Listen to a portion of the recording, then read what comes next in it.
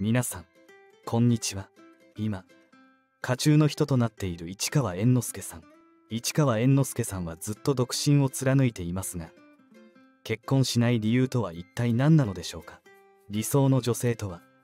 どんな人なのでしょうか？歌舞伎役者として4代目市川猿之助を襲名したのが2012年。そんな市川猿之助さんは2023年現在47歳ですが結婚歴もなく子供もいません。歌舞伎役者は跡取りのために結婚して子供を作る方が多いと思います。だからこそというわけではないですが単純に結婚しない理由が気になります。そこで今回は市川猿之助さんが結婚しない理由を考察してみました。結婚しない理由その1結婚がただ単に面倒くさいからというものです。2017年2月7日に放送された笑福亭鶴瓶さん司会の「巷の話」に出演された時のことです。笑福亭鶴瓶さんに結婚しない理由を聞かれていました。結婚はしないのかという質問に対して市川猿之助さんは結婚って面倒くさいじゃないですかと述べています。絶対家に帰って誰かいとかないとダメだと笑福亭鶴瓶さんは述べますがセコムでいいじゃないですか今は話す家電がいるから十分と言ってのけます。市川猿之助さんが結婚しない理由は面倒くさいとのことでした。好きだから結婚したいって思うのはどうかと思うとも語っています。例えば結婚していない方がうまくいくこともあるでしょう。と述べています。それに対して何を見てきたんや。変なもん見すぎや。とすかさず突っ込まれていました。市川猿之助さんにとっては好きイコール結婚ではないようです。結婚しない理由その2仕事が好きであるという理由です。市川猿之助さんのインスタグラムには次のようなことが書かれています。市川猿之助さんは仕事第一に考えているようで良い家庭を持ってしまったら結婚が芸事から逃げるための逃げ道になってしまうと語っていました。仕事に対して芸事に対してもっと言えば一つ一つの所作や演目の研究など市川猿之助さんにとってみれば歌舞伎に関わること全てに時間を注ぎたいという気持ちがあるのでしょう。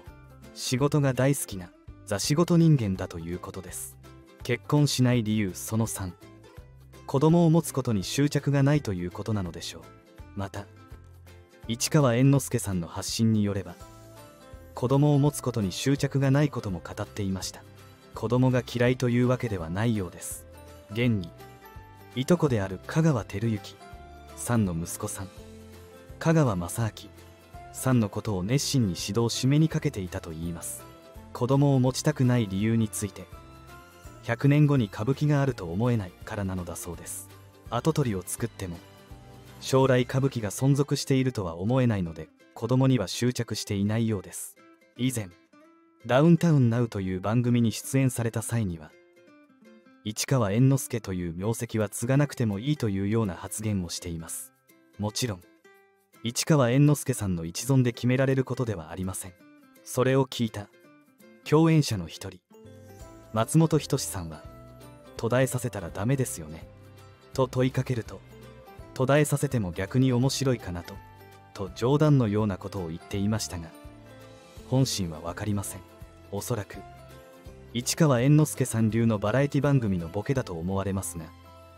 後継について面白おかしく答えていらっしゃいました。結婚して後継者を残してほしいと思うファンもいるでしょう。結婚しない理由その4芸疑惑があります。市川猿之助さんは今まで熱愛などのスクープがありません。ファンの間では芸なのではないかという噂があり周知の事実のようです。ご本人がそのように公表しているわけではありませんが選択肢の一つとしては考えられることでしょう。2011年のインタビューでは役者は世間に対し私生活を晒す必要はない。僕はプライベートの話は一切しませんと述べています。そしてどうしても話してと言われたら嘘を言います。としています。このようにプライベートの話は一切しないと言い切っていました。そう言われれば市川猿之助さんの私生活については謎です。今後も本人からの公表はなさそうなので芸かどうかについても謎に包まれたままでしょう。結婚しない理由その後それに付随してお姉説があります。市川猿之助さんが結婚しない理由としてお姉なのではないかという噂もありました。しかしそれは市川猿之助さんが歌舞伎でお山を演じることが多いため女っぽいイメージから来るものだと思います。お山を演じることについてはあくまで演技であって女性の感覚になりきるというのではないと言います。市川猿之助さんは女性の感覚を持っていないと言います。ただただ美を追求するだけだとしています。インタビューではつまりそれは男性が思う女性らしさの追求になるとと問いかけました。市川猿之助さんはそうですね。男性の考える女性らしさですね。と答えています。理想的な演じ方は浮世絵のような一枚の絵のようにと語っていました。美を追求しているからこそおねの噂が広がってしまったのでしょう。これは仕事柄仕方のないことだと思われます。結婚しない理由その6金銭感覚がやばいことも判明しています。市川猿之助さんは金銭感覚がとんでもないため結婚しないのではなく結婚できないのではないかとも言われていました。歌舞伎の自主公演の際に自腹で数千万円も支払ったと告白していたことがあります。必要であったとはいえ数千万円とはとんでもない金銭感覚であるようです。結婚しない理由その7性格が結婚に向いていないと分析しています。かなり几帳面で思い通りにならないと気が済まないという一面や感情の起伏が激しく突然起こり出すことがあるようです。これは結婚相手を縛ることにもなり結婚にプラスにはなりません。結婚しない理由その8ストーカー被害で女性不信になってしまったということです。市川猿之助さんはストーカー被害がトラウマで結婚できないという噂がありました。調べてみるとこの噂は事実ではなく実際にストーカー被害に遭ったのは別の方でした。ストーカー被害に遭ったのは叔父にあたる三代目市川猿之助さんのようです。三代目市川猿之助さんは当時6年間もの間ストーカーにつきまとわれていたようです。裁判沙汰にまでなり相手に200メートル以内の接近禁止という判決が出ました。歌舞伎のファンは本当に熱狂的でファンの勢いがすごかったのでしょう。結婚しない理由その9理想が高いのではないかという噂です。市川猿之助さんは好きな女性のタイプの理想が高いようです。2020年に放送された「川柳居酒屋夏美」という番組に出演された際理想の女性を聞かれると次のように述べています。理想のタイプは日本人離れした容姿が美しい人と答え女優の原節子さんの名前を挙げました。原節子さんはとてもお綺麗な方です。他の番組でも理想の女性について聞かれています。竹を割ったような性格の女性やスポーツ選手が好みだと明かしています。元競泳選手の寺川綾さんがタイプなのだと言います。初めて具体的な名前が出てきました。さて今世間を賑わせている市川猿之助さんの一家心中事件。2023年5月18日。都内にある両親と暮らす豪邸で悲劇は起きました。2階のリビングで父市川段四郎さんと母信子さんが倒れているところをマネージャーが発見しました。仰向けにされた2人には掛け布団がかけられていたといいます。いずれも死因は向精神薬中毒とみられています。半地下にあるクローゼット内の床に泡を吹いた状態で横たわっていたのが市川猿之助さんでした。緊急搬送の末に一命を取り留めた市川猿之助さんは事情聴取に対し死んで生まれ変わろうと家族で話し合い両親が睡眠薬を飲んだと証言しています。事件当日に発売された「女性セブン」には歌舞伎界激震の性被害市川猿之助コロナ拡散濃厚セクハラと題された記事が掲載されていました。その週刊誌の記事の内容とは次のようなものでした。市川猿之助さんが共演する複数の役者たちをホテルの部屋に引き入れて隣に寝なさい。と指示し体を触るといった。性的スキンシップを求めていたことを劇場関係者らが証言したというものです。要求を拒否すると舞台のキャストから外されたといいます。加えてコロナ禍の真っ只中だった2021年7月中に2度にわたって神奈川県内でパーティーを開きそこでも参加者に濃密な関係を求めていたとも暴露されています。5月15日の夜に直撃取材されましたが市川猿之助さんは答える義務はありませんと一周したそうです。警察の捜査が進み事件の詳細は次第に明らかになりつつあります。市川猿之助さんが遺書のようなものを残していたことも明らかになりました。愛する M 次の世で会おうね高彦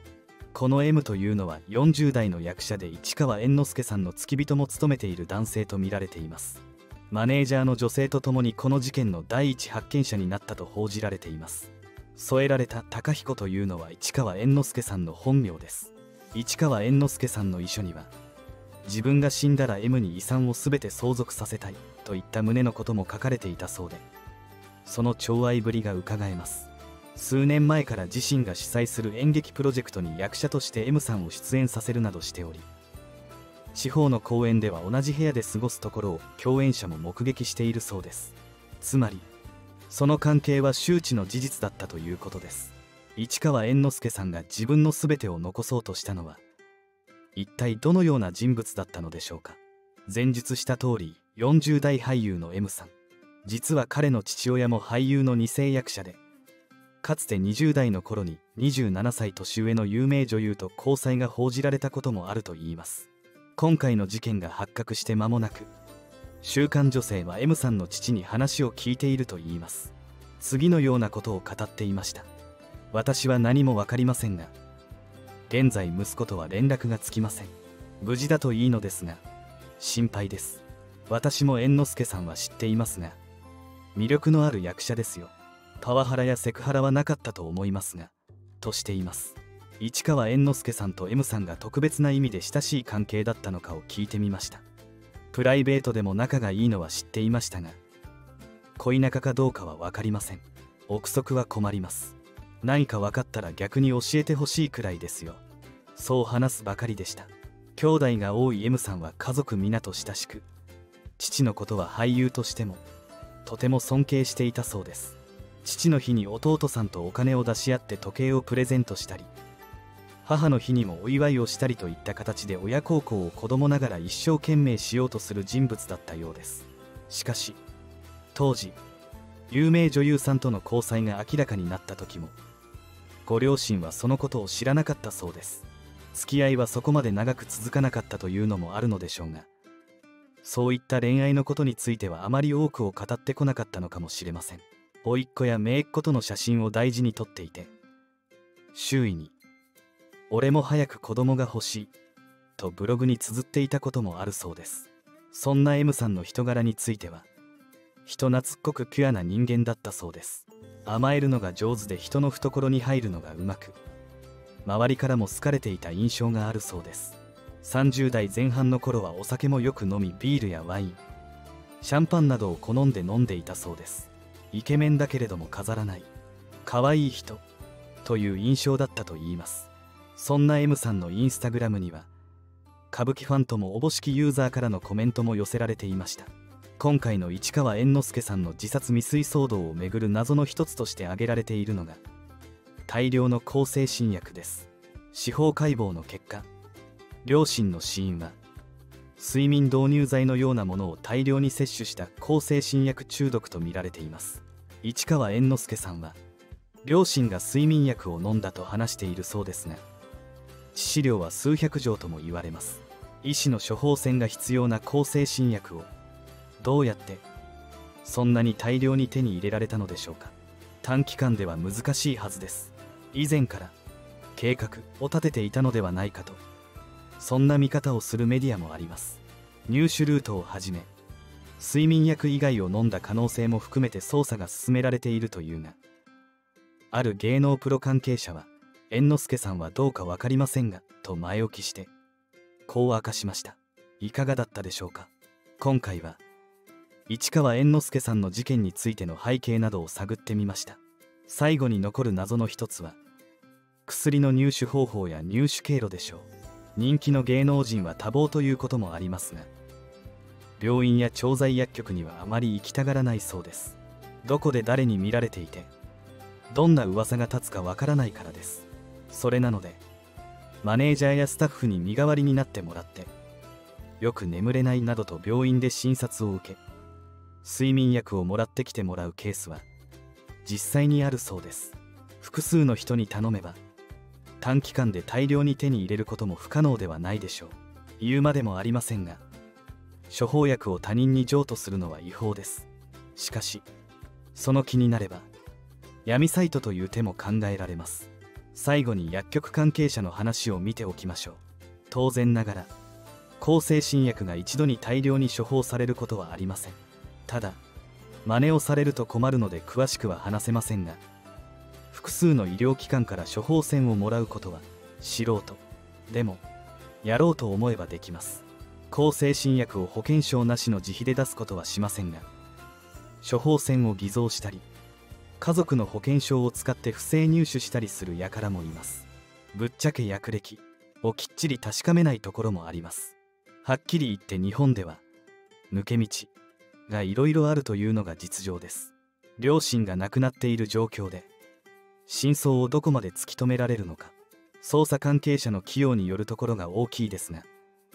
捜査の進捗状況を見守りたいと思います。ご視聴ありがとうございました。この動画が気に入っていただけましたらチャンネル登録高評価をお願いします。